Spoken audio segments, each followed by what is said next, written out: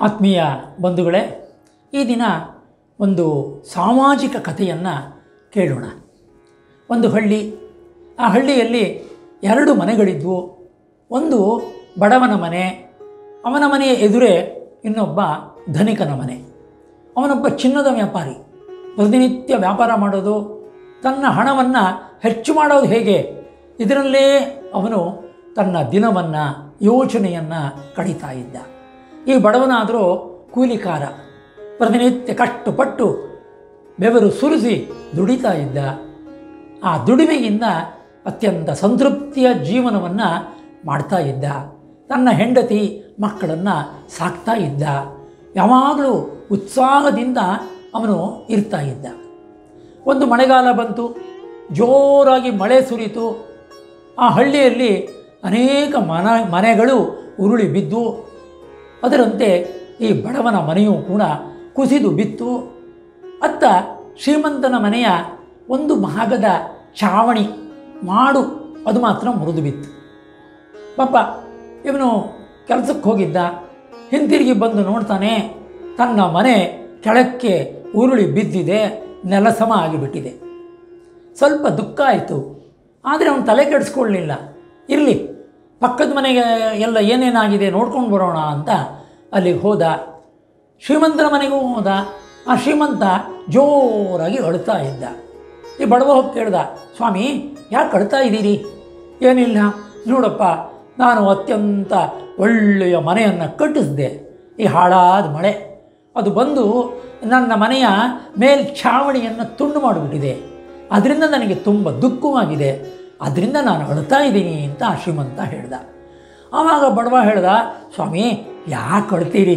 ಮನೆ ರಿಪೇರಿ ಮಾಡಿಸ್ಕೊಂಡ್ರಾಯ್ತು, ಸರಿ ಮಾಡಿಸ್ಕೊಂಡ್ರಾಯಿತು, ಸಮಾಧಾನ ಮಾಡ್ಕೊಳ್ಳಿ ಅಂತ ಈ ಬಡವ ಶ್ರೀಮಂತನಿಗೆ ಸಮಾಧಾನ ಹೇಳ್ದ.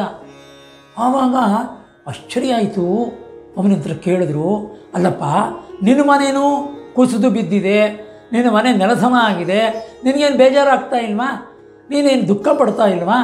ಅಂತ ಕೇಳಿದಾಗ ಆ ಬಡವ ಹೇಳ್ದ, ಸ್ವಾಮಿ, ನನ್ನ ಮನೆ ಮಾತ್ರ ಕುಸಿದು ಬಿದ್ದಿದೆ. ನನ್ನ ಹೆಂಡತಿ ಮಕ್ಕಳು ಅವರು ಬೇರೆ ಊರಿಗೆ ಹೋಗಿದ್ದಾರೆ. ಹಾಗಾಗಿ ಅವರ ಪ್ರಾಣ ಉಳ್ಕೊಳ್ತು. ನನ್ನ ಪ್ರೀತಿ ಪಾತ್ರರಾದ ಮಕ್ಕಳು ಅವರು ಜೀವಂತವಾಗಿ ಉಳ್ಕೊಂಡಿದ್ದಾರೆ. ಮನೆ ಮುರಿದು ಬಿದ್ದರೆ ಏನಾಯಿತು? ಆ ಮನೆಯನ್ನು ನಾವು ಕಟ್ಟಿಸ್ಕೊಳ್ಬೋದು ಆದರೆ ನಮ್ಮನ್ನು ಪ್ರೀತಿಸುವಂಥವರು ಅವರೇನಾದರೂ ನಾಶವಾದರೆ ಸತ್ತು ಹೋದರೆ ಅವನನ್ನು ಪುನಃ ಪಡ್ಕೊಳ್ಳೋಕ್ಕಾಗೋಲ್ಲ.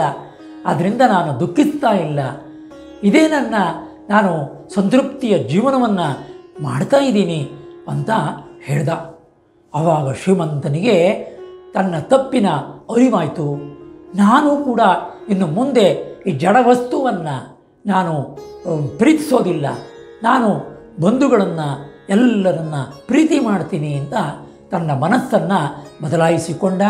ಆದ್ದರಿಂದ ನಾವು ಆ ಜಡವಸ್ತುವಿಗಾಗಿ ನಮ್ಮ ಪ್ರೀತಿ ಪಾತ್ರರ, ಸ್ನೇಹಿತರ, ತಂದೆ, ತಾಯಿಗಳ ಗೆಳೆತನವನ್ನು, ಆತ್ಮೀಯತೆಯನ್ನು ನಾವೆಂದೂ ಕಳ್ಕೊಳ್ಬಾರ್ದು. ಅವರೊಟ್ಟಿಗೆ ಸಹಜವಾದ ಸಂಬಂಧವನ್ನು ಇಟ್ಕೊಳ್ಬೇಕು. ಆ ಜಡದ ವಸ್ತುವಿನ ಮೇಲಿನ ಪ್ರೀತಿಯನ್ನು ಬಿಡಬೇಕು. ಚೈತನ್ಯದ ವಸ್ತುವಿನಲ್ಲಿ ನಾವು ಪ್ರೀತಿಯನ್ನು ಬೆಳೆಸ್ಕೊಂಡಾಗ ನಮ್ಮ ಜೀವನ ಹಸನಾಗತ್ತೆ. ಆನಂದಮಯವಾಗುತ್ತೆ. ಅಂತಹ ನಿರಂತರ ಉತ್ಸಾಹ ನಮ್ಮ ಬಾಳಿನಲ್ಲಿ ಬರಲಿ.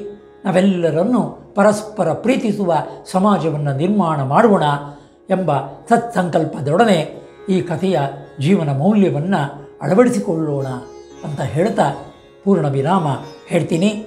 ತಮಗೆಲ್ಲರಿಗೂ ಅಭಿನಂದನೆಗಳು, ಅಭಿವಂದನೆಗಳು.